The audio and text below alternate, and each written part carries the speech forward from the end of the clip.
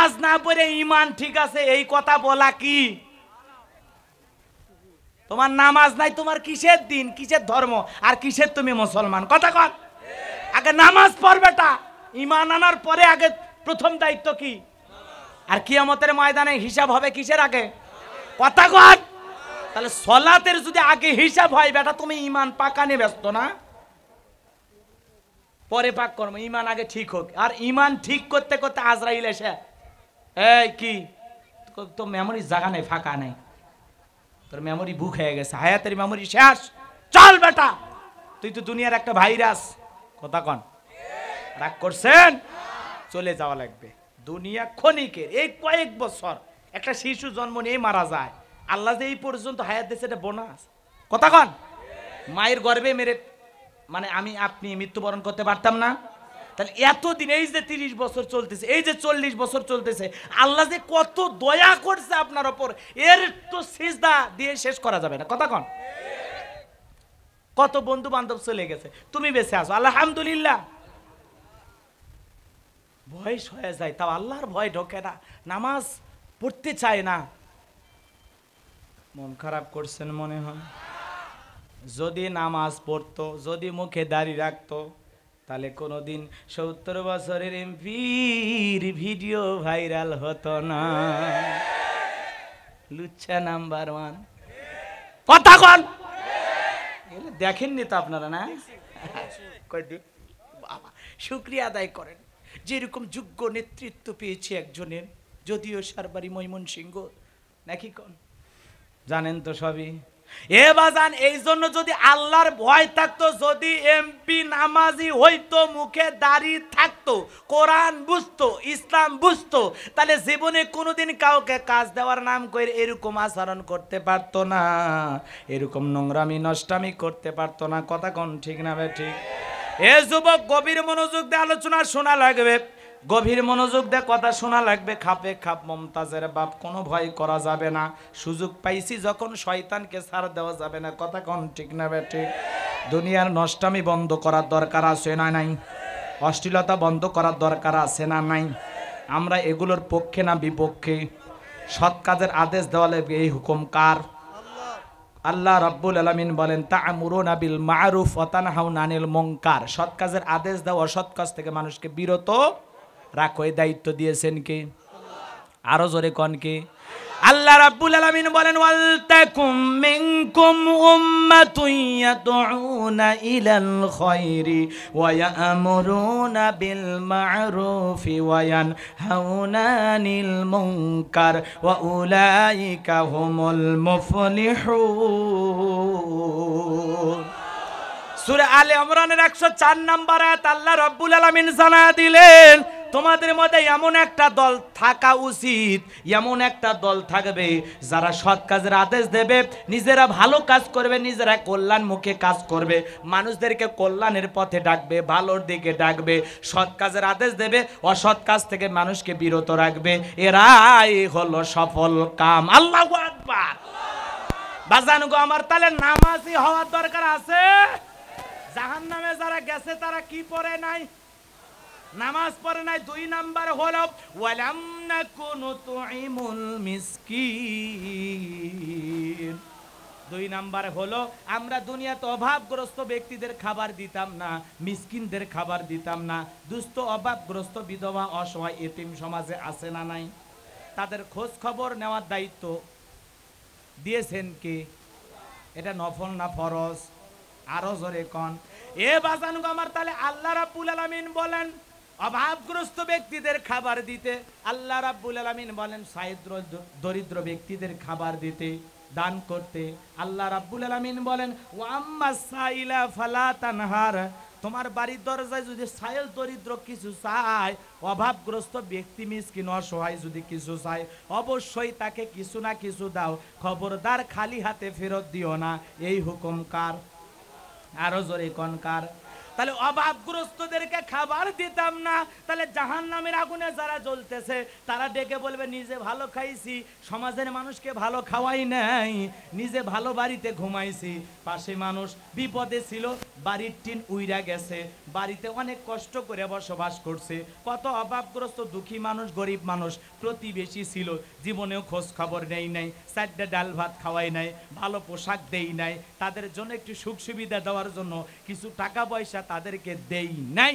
কথা কি বোঝা গেছে? এটা কার কথা? আরও জোরে কন। তাহলে অভাবগ্রস্ত ব্যক্তিদেরকে কিছু দেওয়ার দরকার আছে না নাই? আপনার আমার নবী শরীরে কোনো কাপড় ছিল মাত্র একটা বাজান।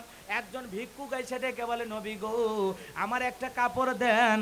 বিশ্বরবি সঙ্গে সঙ্গে নিজের পরনের জুব্বা খুইলা ওই ব্যক্তিকে দিয়ে দিয়েছে, বলুন সোবাহান আল্লাহ এই জায়গায় আমি আর একটা ঘটনা বলি, কিন্তু আজকে সময়টা নাই। তাহলে দুই নাম্বার হলো, অভাবগ্রস্ত ব্যক্তিদের খাইতে দিতাম না, মিসকিনদের দেখাশোনা করতাম না, গরিব মানুষকে দিতাম না। কত গরিব মানুষ এরকম হাত পাতে, আপনার আমার সামনে। আমরা কি বলি? খুরসা নাই। এ, কয় হাজার টাকার নোট আপনার কাছে? কথা কন না কে? এরকম লোক আছে না নাই? তাই খুরসা নাই। আমার সামনে একদিন সাত মাথা, এক প্যান্ট, শার্ট পরা লোক, কথা বোঝেন নাই? ফকির বলতেছে, ভাই, কিছু দেন বলতেছে, বাবা, খুঁজছে না। কয় টাকার নোট? বাই করেন হাই হাই হাই আমি তো ভয় পাইছি। বলছে কয় হাজার টাকা নোট? দুই হাজার না এক হাজার? বাই করেন তার মানে আপনি যে বলতেছেন খুরসা নাই। আপনার পকেটে যে টাকা নেই, ফকিরের ঝোলার তার চেয়ে বেশি আছে। কার কাছে বলেন খুরসা নাই? ওরকম দুই চারশো টাকার নোট ভাঙ্গে দেওয়ার টাকা আছে না নাই? বলেন যে, ভাই, আমার কাছে একটা নোট টাকা আছে, একশো টাকা। আপনার কাছে কি ভাঙতে হবে? ভাঙতে হলে আপনি পঁচানব্বই টাকা ফেরত দেন, পাঁচ টাকা রাখেন। এইভাবে বলবেন। কথা কন। তা না কয় ফকির খুঁজছে নাই। দেখেন না, আমার দেশের ফকিরেরাও অনেক ভালো।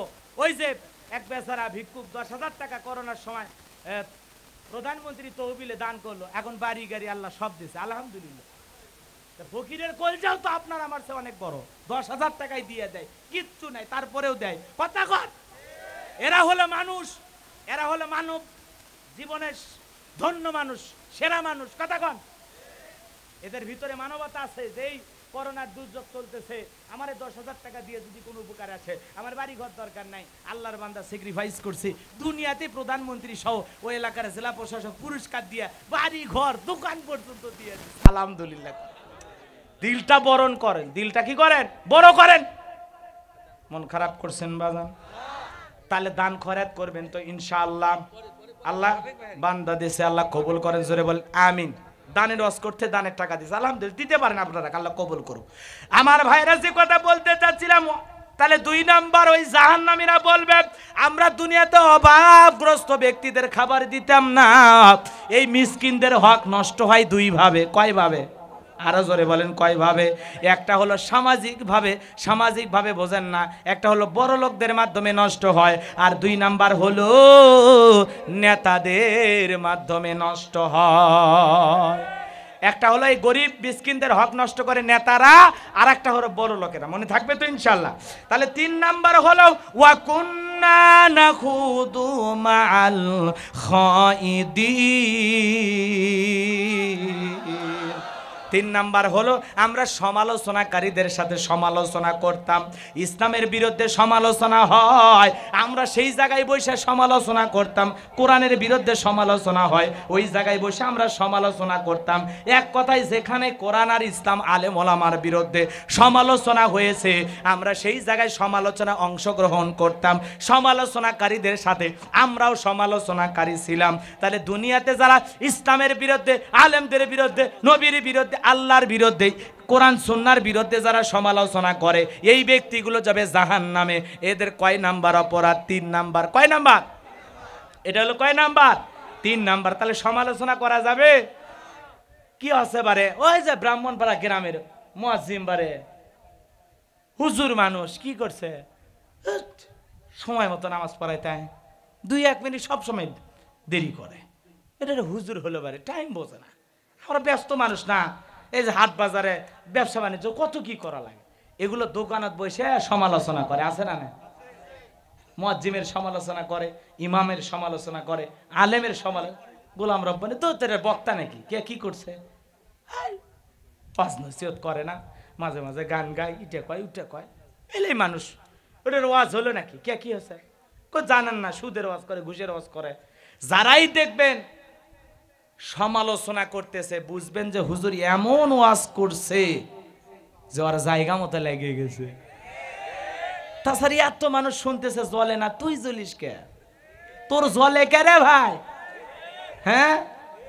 সুদের ওয়াজ করলে সুদ করে জলে, ঘুষের ওয়াজ করলে ঘুষ করে জলে, নামাজের ওয়াজ করলে বেনামাজির জলে, জাকাতের ওয়াজ করলে যারা জাকাত দেয় না, ওদের জলে। আদর্শ নেতার ওয়াজ করলে জালেম নেতারা জলে চোর বাটপারের ওয়াজ করলে চোর বার খুশি হবে। পর্দার ওয়াজ করলে মা বোনেরা আমি বললাম না। কষ্ট পাইছেন আপনারা? তাহলে তিন নাম্বার অপরাধ, আমরা সমালোচনাকারী ছিলাম, সমালোচনায় মগ্ন ছিলাম, সমালোচনা করে ব্যস্ত ছিলাম। কথাকে বোঝা গেছে? নিজে ভালো না খারাপ তুমুক খারাপ, ওই বেটা খারাপ, অমুক দল খারাপ, অমুক পীর খারাপ, এ খারাপ, সে খারাপ। আর তুমি কি? আল্লাহর অলি জিব্রাইলের খালু। কথা কন না খা। সবাই খারাপ, ওই বেটাই ভালো। আই রে ভালো রে সলিমউদ্দিন খান। অজগবি আলাই সাল্লাম কথা কন না খা। এরকম লোক আছে না নাই? তো সবাইকে যে খারাপ বলতেছেন, আপনি কি? খালি আঙ্গুল দিয়ে দেখেন, নিজের দিকে দিয়ে দেখেন। তখন ওই আঙ্গুল কবি, তুই মিথ্যাবাদী, তুই তুই চোর, তুই বাটপা তুই বইয়ের হক ঠিক মতো আদায় করিস না, মহরণা দিস নি ছেলে মেয়ের সাথে খারাপ ব্যবহার করিস, তুই দোকানের মজন কর্মচারীর বেতন ফাঁকি দিস। কথা কন। এইভাবে খালি আঙ্গুল দেন। তুই নেতা, জনগণকে ঠকস। খালি আঙ্গুল দিয়ে খালি নিজের দিক দেখান, কতগুলো অপরাধ আঙ্গুল সাক্ষী দিয়ে বলে দেয়। কথা কর হ্যাঁ দোকানদার আপনি, আঙ্গুল দেন নিজের দিকে। কি করিস? কই তেলের মধ্যে ভেজাল দিস, চালের মধ্যে ভেজাল দিস, ওজনে কম দিস গোস্তওয়ালা তুই, কি করছিস? কষাই আমি। গরু জবাই করে ছয় বালতি পানি দিলি। কথা কর না কে ভাই। আঙ্গুল খালি নিজের দিকে দেন। কত অপরাধ বের হয়। দেখেন দেখেন। বাড়ির যে খালি একটু বালিশে কান্দে নিজের আত্মসমালোচনা করেন। মিয়া, কারে খারাপ বলেন? নিজেই তো খারাপের হাড্ডি, শয়তানের খালু। কন। বোঝা গেছে? তাহলে অমুক খারাপ, তুমুক খারাপ না, আমি কি খারাপ সেটা আগে দেখা লাগবে। আমার ভিতরে কি দোষ আছে? আগে নিজের সমালোচনা নিজেই করে ভালো হওয়া লাগবে, কথা কন। আগে নিজে ভালো হন, তারপরে মানুষকে ভালো হওয়ার দাওয়াত দেন, কথা কন। বোঝা গেছে তো বাজান? এ ভাইজান গভীর মনোযোগ দিয়ে শোনেন, তাহলে ওই জাহান নামীরা তাদের তিন নাম্বার অপরাধ বলবে, ওয়া কুন্না খুদু মাল খয়দিন। আমরা দুনিয়াতে সমালোচনাকারীদের সাথে সমালোচনায় মগ্ন থাকতাম, সমালোচনা করে খুশি হইতাম।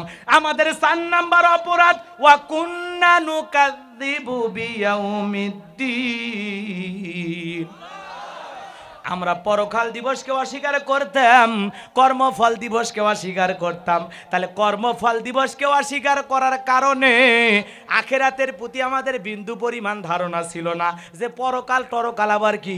হুজুরেরা এত ওয়াজ করে বুঝাইছে, বাজান, আখেরাতকে ভয় করেন, আল্লাহকে ভয় করেন, জাহান্নামকে ভয় করেন, কবরের আজাবকে ভয় করেন, এতই বুঝাইয়া বলছে, কানের ভিতরে ঢুকাই নাই, মনে করছি মারা যাব, আমার আবার বিচার করবে কীভাবে? কথা কন ঠিক না ভাই ঠিক? এইরকম ধারণা নিয়ে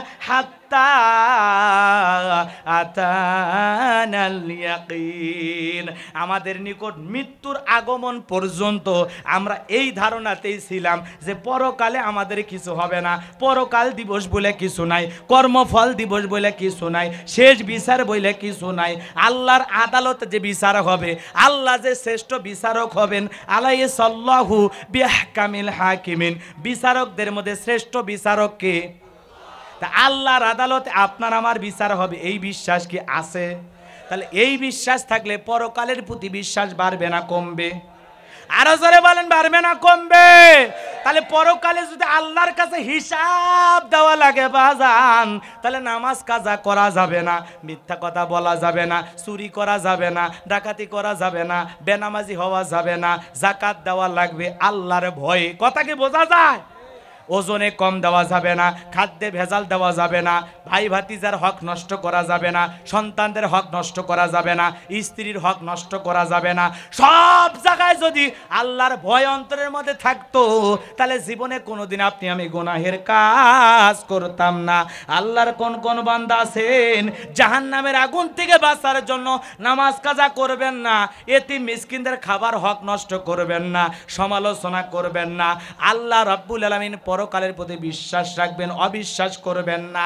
কারা কারা আছেন? সুরা মুদ্দাসিরের এই কয়টা আয়াতের ওপর সামান্য সময় যে আমি আলোচনা করলাম, কারা কারা এই আলোচনার ওপরে আমল করতে রাজি আছেন? দুইটা হাত তুলে একটা বার আমার আল্লাহকে দেখান। আল্লাহ, আমাদের সবাইকে আজকের মাহফিল আলোচ আলোচনা থেকে আমল করা তৌফিক দিয়ে দাও। জোরে বলেন আমিন। আরও জোরে বলেন আমিন। আল্লাহ আমাদের সবাইকে পাঁচ সুক্ত নামাজি বানায় দেন, আমিন। আমরা সবাই গরিব মিসকিনদের খাবার দেবো, ইনশা জীবনে কোনোদিন আলেমেদের ইসলামের বিরুদ্ধে, কোরআনের বিরুদ্ধে, কোরআন সুন্নার বিরুদ্ধে কোনো সমালোচনা করব না, ইনশা আল্লাহর পরকালের প্রতি বিশ্বাস রাখব যে অবশ্যই কঠিন বিচার দিবস আল্লাহ কায়েম করবেন। ওখানে আল্লাহর দয়া ছাড়া, নবীর সুপারিশ ছাড়া বাঁচা যাবে। এই বিশ্বাস আছে তো ইনশাল্লাহ তাহলে আমল করবেন তো ইনশাল্লাহ আল্লাহ। সবাইকে আমল করা তৌফিক দান করুন, জোরে বলেন আমি।